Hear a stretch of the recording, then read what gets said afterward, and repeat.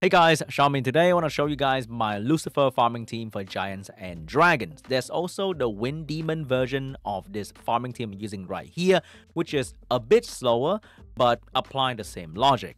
For Dragons, I'm not sure if there's going to be any budget team that is similar, but I'm going to show you guys anyway. And I know this video is not very educational because about two people in the comment section can probably build this team but once in a while I get people asking the runes I have on my farming team so I just want to make a quick video to show them what runes I have on my farming team.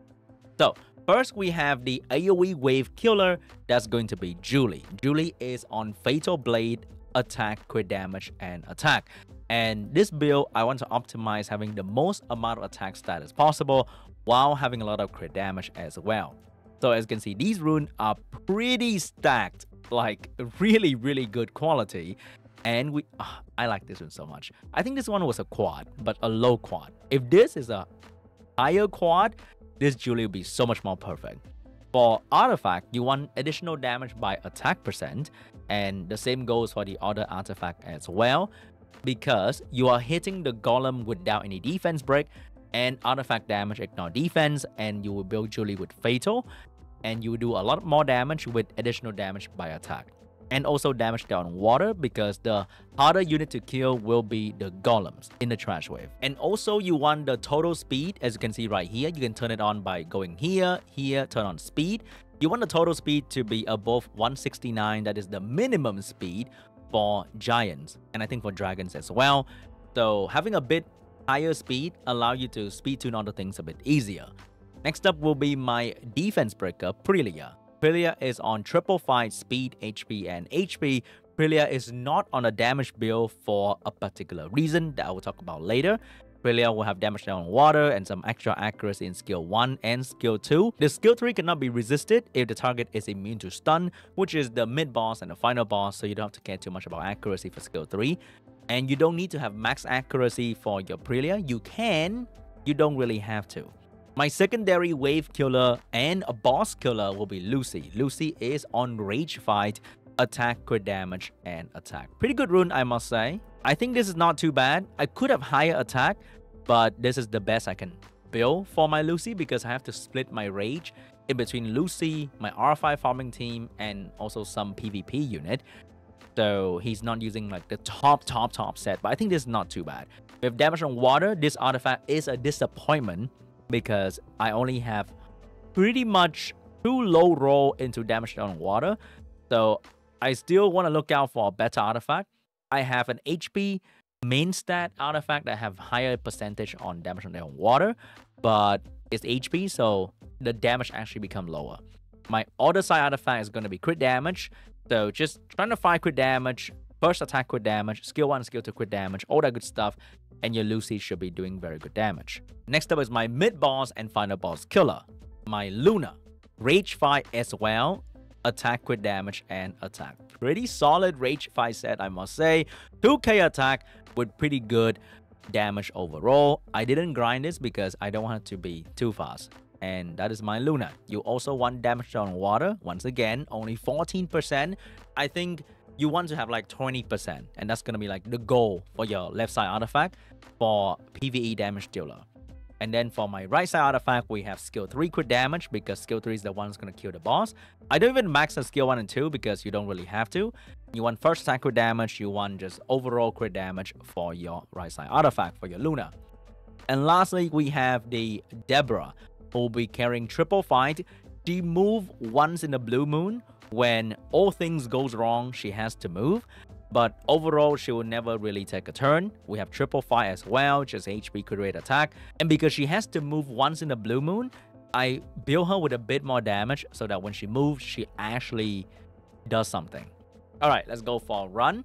So for this one, Julie will be taking first turn, doing the big AoE damage. And then I have my prelate to move after because I want my demon damage on mid boss to be applied with defense break. And then I have, oh, as I mentioned, sometimes she has to take a turn because I didn't do enough damage for some weird reason, or the damage calculation become a bit off. Because in this game, the damage you can do on the boss is actually not a fixed amount of damage. it ranged from one number to another. And sometimes when I hit all the low number for the first three unit, then my blacksmith have to move.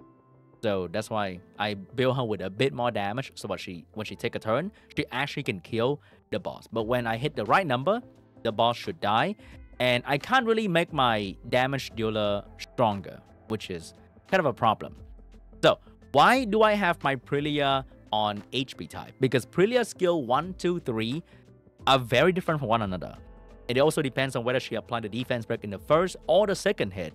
So I used to run a crit damage Prillia, and she do very good damage, but too good, and that is a problem. In this stage, if you hit the boss a bit too hard and the boss HP go lower than 50%, the passive the water golem get activated and it has damage reduction. And when that happens, my shitty Luna cannot kill the mid boss on time with, with one shot. And then she'll leave too much HP for the hammer to actually finish the boss, which is also a problem. And the fix that I found was to have Prillia just not do a whole lot of damage and that just fixed my run entirely because her skill 2 apply defense break with the first hit very consistently and do very good damage because of the double hit. So sometime with the skill 2, she hit way too hard and that was a problem. And then there was a secondary problem with this team as well. So my Julie, even though you saw the runes were pretty good, sometimes I find that my demon use skill 1 on the remaining golem. I don't know why. Maybe it is because there was only one golem left. Let's say Prelia killed the other golem accidentally, and there's only one golem left. Then my demon use skill 1 and not skill 2. And then it makes the demon use skill 2 in the mid boss and the final boss, which is not ideal. You want the demon to use skill 1 in the mid boss and the final boss. So I can't make my Julie any better. That is like the absolute best I can do for my Julie. But I can't really make my demon use skill two. Like, I don't know why. So one way I found is that if I have my Prilia move in front of my demon and not do enough damage to kill the golem, then I'll be left with two golem with one very close to death and that will guarantee my demon to use this skill two.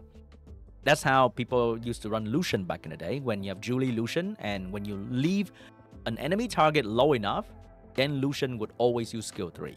And that is the logic behind my slightly tankier, lower damage Prillia. I had to test so much to find the sort of perfect amount of damage that Prillia should do. And so far, this has been really, really good. Sometimes the blacksmith have to take a turn in the mid boss because I don't know why. Really fix that because I can't make any of my damage dealer hit a bit harder. And I can't make my Prillia hit any harder. I don't want to. So the run will be like slightly longer, which is totally fine. We are still rocking if I'm lucky, 19 second. If I'm unlucky, 21, 22 second. And if I'm very unlucky and I miss defense break all the way, okay, because you are relying on Prillia as a single defense breaker, her chance to miss defense break is around like a couple percent because she has multi-hit, she has skill 3 that cannot be resisted. So her defense break chance is through the fucking roof. Very, very good. But there will still be run where I miss defense break and I'll lose, which is totally fine. When you run this fast and you lose once in a while, I can accept that. But I'm running giants like incredibly fast at the moment. What if you don't have the LDs? So the first thought I had was to run Mephisto. I can even lower the Mephisto crit rate because we are primarily hitting water unit, so you don't need the max crit rate. So here is Mephisto with a bit higher crit damage, with better left side artifact and pretty decent right side artifact as well. So with the Wind Demon, it is pretty much the same team up until the mid boss because you don't have the damage boost from the passive of the Lucifer. So I'm not sure. Okay, we still kill the mid boss, but I think that will require your Luna to be very, very well ruined. I mean, this entire team, I would say, is very well ruined. This is not an early game beginner guide team. This is an end game team. So as you can see in the final boss, my Luna could not finish the boss in one hit and that will make the run a bit slower. I'm not sure if I'm gonna consistently kill the mid boss or not, but so far it is pretty much the same team, but you just replace the Lucifer with the Wind Demon. So if you have very good runes, very good rage and fight, you can probably do this team as well and use the Wind Demon instead of the Lucifer. The Lucifer team was really good and I think a bit easier to build in terms of the raw damage output. But for this team, it is doable as well. I just need to make maybe have a better artifact on Luna for damage down water. And I could probably kill the boss with the Luna and achieve like the 21 second run as well. So if you have the Wind Demon and you can match my rune quality, I think you should be able to build this team and have very very fast giant run especially in this period where you can run booster from the event to maybe get more swift or get more despair depending on what you want then you might want to build this very very fast team god i'm just missing like a bit of damage and i could do it but because i have lucifer i don't have to do this team however if you don't have deborah and you want to be really safe i would recommend using a wind homunculus on pretty much a full damage build i think as much fight rune as you can and the Wind Homunculus is gonna be the mid boss and final boss finisher. Of course, without Deborah, you won't be doing the same amount of damage. And your run will be probably 23 to 24 second, I think. So we are getting close to the Teshar team. And I think Teshar team might be easier to build because we're not running that much faster anyway. And the rune requirement for this is pretty crazy. So I'm not sure if this is worth it if you are running the Wind Homunculus because the I think the Teshar team is 24 second or 25 second or maybe the same amount of time. And this you need to run a freaking insane Julie and you need to run an insane Luna and pretty insane demon and you need very good fight runes on your team so that Julie can actually bring the the enemy down two a an amount that your demon will actually use skill to all the time. So if you don't have Deborah, I'm not sure if it's to be worth it. But hey, if you want to challenge yourself and build this team, let me know in the comment section down below if you can actually build it. 22 second. It's a bit faster, but is it really worth it though? So here is my Dragons team. Starting off with the AoE defense break that happened maybe half the time, which is totally fine by me. We have attack with damage attack.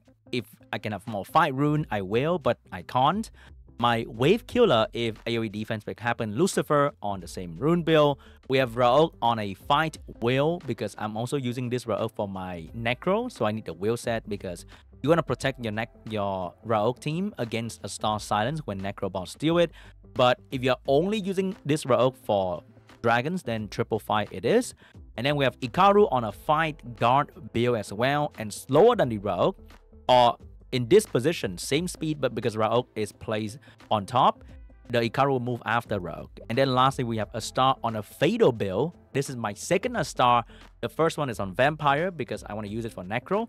The second one's on Fatal because I only want to use it for Dragons and I want as much damage as possible.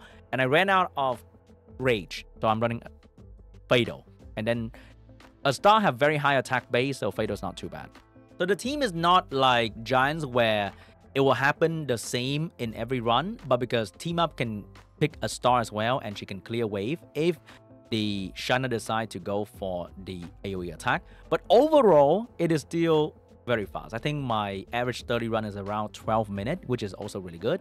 And it also depends on who the doggies pick in the stage, and that will make the run time quite different from time to time. But because overall, it is still really fast. And I think it's a bit simpler for me personally to build compared to the other variation where you have to speed tune and tune the damage or whatever. Here, I just make sure everyone do very good damage. And that's all I do. I don't have to worry too much about turn order or whatever because yeah, it's pretty simple in my opinion to build and it works pretty well. And I don't have to change too many rune build and I can reuse rune build from other content and it works just fine. I wish I can do a bit more damage. I think if my star is on Rage, I could probably kill the boss right at that moment. But because she's on Fatal, the damage is not as good. But once again, this is my Dragons team I've been running for the past couple months now. And it's pretty fast. I could really go back to the Liam team if I really want to. But I can use the Rage set that I, I put on Liam or any other unit on somebody else. Because I don't want to build another Rage build. Of course, if you are farming something like for the entire month, you probably want to build only that team, but because I'm too lazy and I want to farm things and I don't have to read rune for anything whatsoever, I decided to go with this team instead of the usual speed team that require a bit more careful building and speed tuning and damage calculating and all that. This is like a, I slap it on, it works just fine. And this team was given to me via a YouTube stream commenter. He told me to build this team. I just kind of do it, and it somehow worked out just fine. I had to fine tune and give it a bit more damage, a little bit, and it's like the team. I don't have to really do much about it, and it works just fine. So that is my Dragons farming team. Sometimes it's a bit slow if you miss defense break with Shina, but there's really nothing you can do about it because you are using Shina as your main defense breaker. The faster your team, the lower the success rate, and there's really nothing you can do about it. But so far, very satisfied with this 25 average second farming team. And that's my Lucifer farming team. I try using him in other bosses, but it's not really worth it because the free-to-play team or because the boss require too much mechanic to actually kill it, make it really hard to put Lucifer in there. Because Lucifer is just a raw damage dealer. He doesn't provide any other utility compared to a damage plus defense break kind of thing. But maybe if you know any Lucifer farming team for other dungeon, let me know in the comment section down below and I will see if I can build it. Anyway, guys, thank you so much for watching. I fucking hate having a good farming team because if I really want to, I could clear 3000 crystal in a day if I really want to, but I don't. Sometimes I have to bring myself to farm necro to make it slower for myself to burn my crystal. Anyway, thanks for watching. Weird flex, but I'll see you guys in the next video. Bye-bye.